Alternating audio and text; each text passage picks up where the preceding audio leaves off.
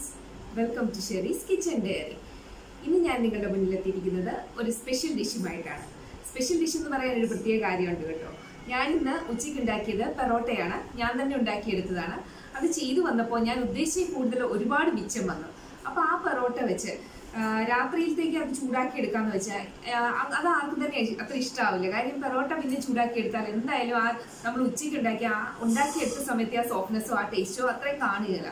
അപ്പോൾ ഞാൻ ഓർത്തു ഈ പൊറോട്ട തന്നെ വേറെ രീതിയിലൊന്ന് ചെയ്തെടുത്താലോ എന്ന് കുറച്ചുകൂടി അത് ഇംപ്രവൈസ് ചെയ്ത് മറ്റൊരു ഡിഷാക്കി നമുക്ക് പൊറോട്ടയെ മാറ്റിയാലോ എന്നുള്ള ചിന്തയിൽ നിന്നാണ് ഞാൻ ഇന്നത്തെ ഡിഷുമായിട്ട് വന്നിരിക്കുന്നത്. നിങ്ങൾക്ക് ഇപ്പോൾ ഏകദേശം പിടികിട്ടി കാണുമെന്ന് ഞാൻ വിചാരിക്കുന്നു.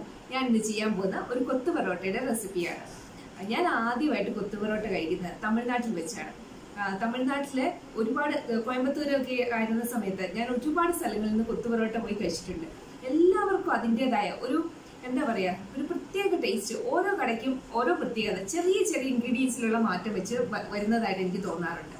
അപ്പോൾ അവരുടെയൊക്കെ റെസിപ്പി അത് നമ്മുടെ കൺമുന്നിലാണ് ഇത് ചെയ്തെടുക്കുന്നത്. ഈ വലിയ ഇരുമ്പിന്റെ പാത്രങ്ങളിൽ തവകളിലൊക്കെ ആയിട്ട് ഈ നമ്മുടെ ഗ്ലാസ് ഗ്ലാസിന്റെ വക്ക് വെച്ച് കുത്തി കുത്തി കുത്തി ഒരു പ്രത്യേക രീതിയിൽ കൊത്തി എടുക്കുന്നതുകൊണ്ടാണ് അതിന് ആ കൊത്തു പൊറോട്ട എന്നുള്ള പേര് പൊറോട്ട എന്നുള്ള പേര് തന്നെ കിട്ടാൻ കാര്യം.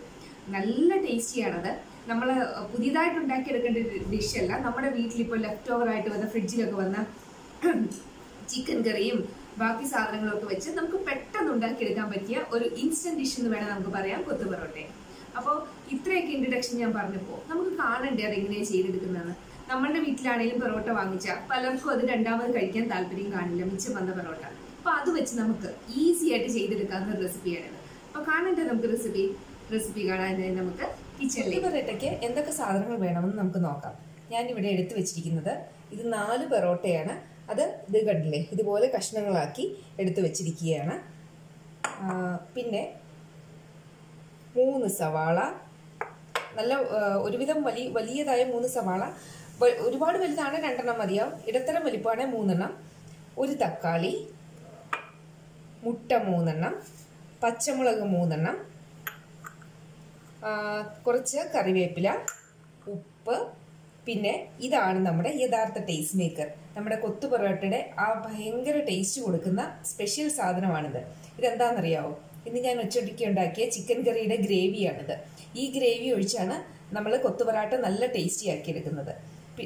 ആവശ്യത്തിന് ഉപ്പ് പിന്നെ നമുക്ക് ആവശ്യത്തിനുള്ള എണ്ണ ഇത്ര സാധനങ്ങളാണ് വേണ്ടത്. ഇതാ നമ്മുടെ കൊത്തുപൊറാട്ട തയ്യാറാക്കാനായി ഞാൻ നല്ല കട്ടിയുള്ളൊരു ചീനച്ചട്ടി അടുപ്പി വെച്ചിട്ടുണ്ട്. നിങ്ങൾ എടുക്കുമ്പം ഒരു കാര്യം ശ്രദ്ധിക്കേണ്ടത് ഇതിന് ഇത് നോൺ സ്റ്റിക്ക് എടുക്കരുത്. ഇരുമ്പിന്റെയോ അലുമിനിയത്തിന്റെയോ കട്ടിയുള്ള ചട്ടികളാണ് പൊതുവേ നല്ലത് എടുക്കാൻ. കാര്യം നമ്മൾ നന്നായിട്ട് കൊത്തി കൊത്തി കൊത്തി എടുക്കേണ്ടതാണ്. അപ്പോൾ നമ്മുടെ നോൺ സ്റ്റിക്ക് പാത്രങ്ങൾ ഉപയോഗിച്ചാൽ അതിന് കേടുവരാൻ ചാൻസ് ഉണ്ട്. ഇതിലേക്ക് ആവശ്യത്തിന് എണ്ണ ഒഴിച്ചു കൊടുക്കാം.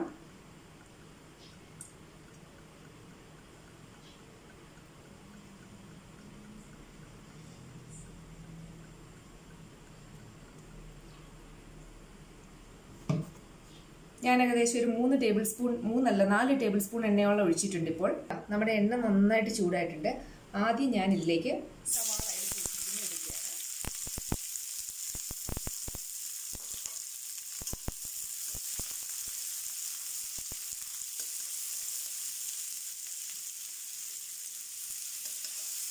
ഈ കൂടെ തന്നെ നമുക്ക് എടുത്തു വെച്ചിരിക്കുന്ന പച്ചമുളകും ഇടാം.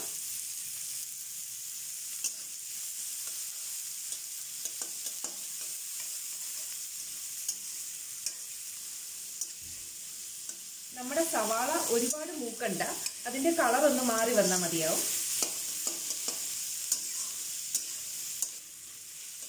ഇതിലേക്ക് നമുക്ക് എടുത്തു വെച്ചിരിക്കുന്ന കറിവേപ്പില ഇട്ട് കൊടുക്കാം.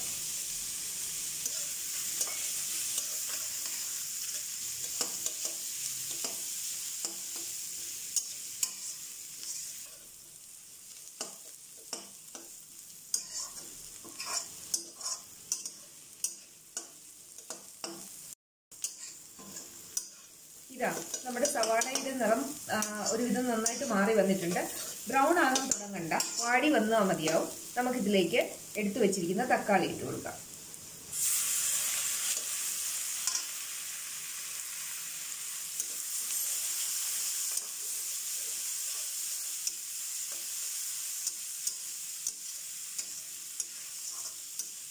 തക്കാളിയും ഒരുപാട് വെന്തുടയ ഉടയേണ്ട ആവശ്യമില്ല. ഒന്ന് ചെറുതായിട്ടൊന്ന് വഴന്ന് കിട്ടിയാൽ മതിയാവും.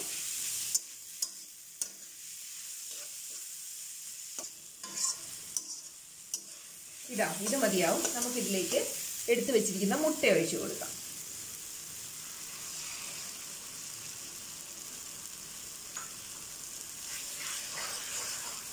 ഇതിലേക്ക് നമുക്ക് ആവശ്യമുള്ളത്ര ഉപ്പ് ഇട്ട് കൊടുക്കാം. ഉപ്പ് ഒരുപാട് ഇടരുത് കാര്യം നമ്മൾ പൊറോട്ടയിൽ ഉപ്പ് വരുന്നതാണ്. അതുകൊണ്ട് മുട്ടയ്ക്ക് ആവശ്യമുള്ളത്ര ഉപ്പ് മാത്രം മതിയാവും.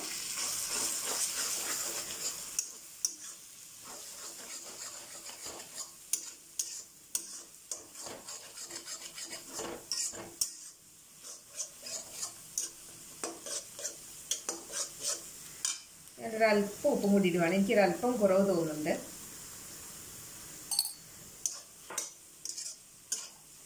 ഇതാ നമ്മുടെ മുട്ടയും റെഡി ആയിട്ടുണ്ട്. ഇനി നമുക്ക് പൊറോട്ട ഇടാം.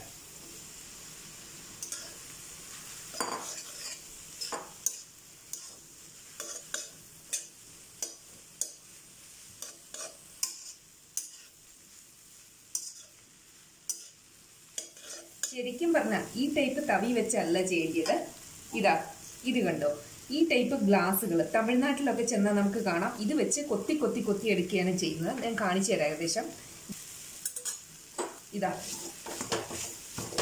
ഇങ്ങനെ ഇങ്ങനെ ഇങ്ങനെ കൊത്തിയെടുക്കുന്നത് കൊണ്ടാണ് ഇതിന് കൊത്തു പൊറാട്ട എന്ന് പേര് വരാൻ തന്നെ കാര്യം.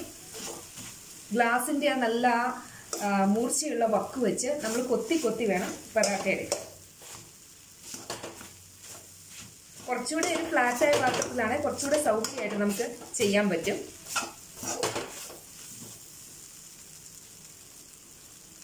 ഞാനിപ്പോൾ എന്റെ പഴയ തവി തന്നെ എടുക്കുകയാണ്.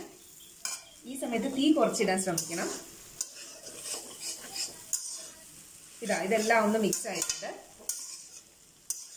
നമുക്ക് ഇനി ഇതിനകത്തേക്ക് നമ്മുടെ ഇതിന്റെ ടേസ്റ്റ് മേക്കർ എന്ന് പറയുന്ന സംഭവം ഒഴിക്കാം. ഇതാ നമ്മുടെ ചിക്കൻ കറി ശരിക്കും ഇതിനാ നല്ല ടേസ്റ്റ് കൊടുക്കുന്നത് ഈ ചിക്കൻ കറിയാണ് ചിക്കൻ കറി വേണമെന്നൊന്നുമില്ല. നമ്മൾ തലേന്ന് വെച്ച് ചിക്കൻ കറിയൊക്കെ ഫ്രിഡ്ജിൽ വെച്ചിരുന്ന അതിന്റെ ചാറ് ഉപയോഗിച്ചാൽ മതിയാവും.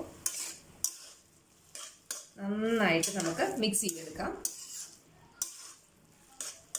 കൊത്തുപൊറാട്ടയ്ക്ക് നല്ലൊരു ആ രുചിയും ഫ്ലേവറും കൊടുക്കാൻ ശരിക്കും ആ ചിക്കൻ കറിയാണ് ഹെൽപ്പ് ചെയ്യുന്നത്.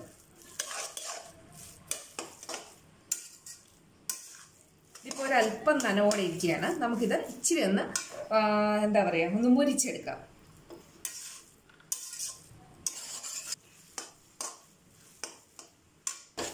നമ്മുടെ ഗ്രേവി ഒഴിച്ചു കഴിയുമ്പോൾ ഇത് അടിയിൽ പിടിക്കാനുള്ള ചാൻസ് ഉണ്ട്.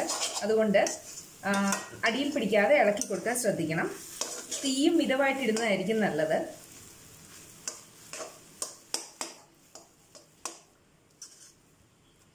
ഇപ്പം നന്നായിട്ട് റെഡി ആയിട്ടുണ്ട്. ഇനി ഇതിന്റെ ടേസ്റ്റ് വർദ്ധിപ്പിക്കാം. നമ്മൾ ഇംപ്രവൈസ് ചെയ്യുക പറയുന്നത് നമുക്ക് അപ്പം അപ്പം തോന്നുന്ന രണ്ട് മൂന്ന് സാധനങ്ങളിടാം ഞാൻ എടുത്തു വെച്ച ഇൻഗ്രീഡിയൻസിന്റെ കൂടെ പറഞ്ഞിട്ടില്ല. ഞാൻ ഇടാൻ പോകുന്നത് ഒരു അര ടീസ്പൂൺ കുരുമുളക് പൊടി.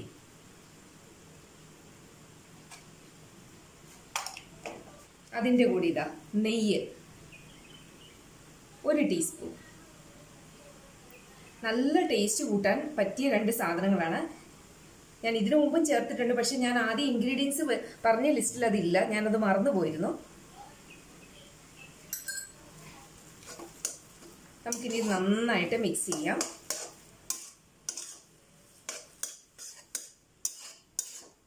നെയ്യ് തന്നെ വേണമെന്നില്ല. ബട്ടർ ആയാലും സെയിം ഇഫക്റ്റ് തന്നെ കിട്ടും. നല്ലൊരു ടേസ്റ്റ് കിട്ടും. നെയ്യോ ബട്ടറോ ഒരു ടേബിൾ സ്പൂൺ പിന്നെ കുരുമുളക് പൊടി. ഇത് രണ്ടും അവസാനം ചേർക്കണം. അത് നല്ലൊരു നല്ല ഫ്ലേവറും ടേസ്റ്റും നമ്മുടെ കൊത്തുപൊറോട്ടയ്ക്ക് തരും.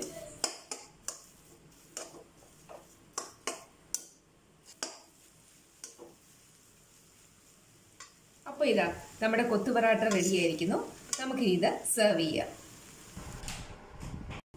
അപ്പോൾ ഫ്രണ്ട്സ് ഇതാ നമ്മളുടെ അടിപൊളി കൊത്തുപൊറോട്ട റെഡി ആയിരിക്കുന്നു. ഇതാ നിങ്ങളെ ഞാൻ ഒന്ന് കാണിച്ചു തരാം. കണ്ടില്ലേ? നല്ല ഉഗ്രനായിട്ട് നല്ല ടേസ്റ്റി ആയിട്ടുള്ള കൊത്തു പൊറോട്ട റെഡിയായി കിട്ടിയിട്ടുണ്ട്. അതും എനിക്ക് ഇത് ചെയ്തെടുക്കാൻ ഒരു പത്ത് പതിനഞ്ച് മിനിറ്റ് അത്ര എടുത്തിട്ടുള്ളൂ. അതിനുള്ളിൽ എനിക്ക് എല്ലാ ഇൻഗ്രീഡിയൻസും ഒക്കെ അരിഞ്ഞ് ഞാൻ എല്ലാം കൂടെ മിക്സ് ചെയ്ത സമയമാണ് ഞാൻ പറഞ്ഞത് പതിനഞ്ച് മിനിറ്റ് അതിനുള്ളിൽ എല്ലാം റെഡി ആയിട്ടുണ്ട്. നമ്മളൊക്കെ മിക്കവാറും വീട്ടിലൊക്കെ പൊറോട്ട വാങ്ങുന്നവരാണ് അല്ലെ ഉണ്ടാക്കുന്നവരാണ് അതിന്റെ കൂടെ എന്തായാലും ചിക്കൻ കറിയും കാണും. അത് ഒരു നേരം കഴിച്ചു കഴിഞ്ഞ് പിന്നെ ആർക്കും പൊറോട്ട കഴിക്കാൻ അത്ര താല്പര്യമില്ല. നമ്മൾ ചൂടാക്കി എടുത്താലും നമ്മൾ ആദ്യം കഴിക്കുന്ന ടേസ്റ്റ് പൊറോട്ടയ്ക്ക് പിന്നെ കിട്ടത്തില്ല. കുറച്ചുകൂടെ കട്ടിയായിട്ട് കഴിക്കാനൊരു സുഖം കാണില്ല. അപ്പോൾ അങ്ങനെയുള്ളപ്പോൾ നമുക്ക് പൊറോട്ട വേസ്റ്റ് ആക്കാനും തോന്നിയില്ല അപ്പോൾ നമുക്ക് ധൈര്യമായിട്ട് ട്രൈ ചെയ്യാൻ പറ്റിയ ഒരു ഐറ്റമാണ് ഈ കൊത്തു പൊറോട്ട.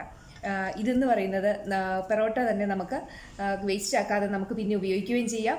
അതിന് നല്ല എന്താ പറയുന്നത് പെറോട്ടയുടെ മറ്റൊരു വേർഷനായിട്ട് നല്ല ടേസ്റ്റി വേർഷനായിട്ട് ഒരു കൊത്തു പൊറോട്ട ചെയ്തെടുക്കാൻ ഒട്ടും പ്രയാസവും ഇല്ല അപ്പം തീർച്ചയായിട്ടും എല്ലാവരും ഒന്ന് ട്രൈ ചെയ്യണം കേട്ടോ. നല്ല ടേസ്റ്റിയാണ് അതുകൊണ്ടാണ് ഞാൻ പറഞ്ഞത്. നമുക്ക് എല്ലാവർക്കും അത് വളരെ ഇഷ്ടപ്പെടുന്ന ഒരു നല്ല ടേസ്റ്റാണ് ഇതിന്.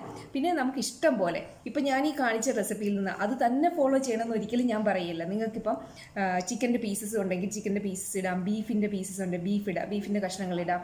അങ്ങനെ നമ്മുടെ ഇഷ്ടത്തിനനുസരിച്ച് എന്ത് വേണേലും ഇംപ്രവൈസ് ചെയ്ത് നമുക്ക് ഇഷ്ടമുള്ള സാധനങ്ങളൊക്കെ ഇടാം എന്നാണ് ഇതിന്റെ ഒരു വേറെ പ്രത്യേകത. കൊത്തു പൊറോട്ട നമ്മുടെ ഇഷ്ടത്തിനനുസരിച്ച് നമുക്ക് ചെയ്യാം. അപ്പോൾ തീർച്ചയായിട്ടും ട്രൈ ചെയ്യുമല്ലോ പിന്നെ ഞാനെന്നും പറയുന്ന പോലെ ദയവായി എന്റെ ചാനൽ ലൈക്ക് ചെയ്യുക ഷെയർ ചെയ്യുക. ഇതുവരെ സബ്സ്ക്രൈബ് ചെയ്യാത്തവരുണ്ടെങ്കിൽ സബ്സ്ക്രൈബ് ചെയ്യുക പിന്നെ ബെൽ ബട്ടൺ അമർത്തുക നോട്ടിഫിക്കേഷനുകൾക്കായി അപ്പോൾ ഇന്നത്തെ റെസിപ്പി നമ്മുടെ അടിപൊളി കൊത്തു പൊറോട്ട. അടുത്ത റെസിപ്പി വരേക്കും. ബൈ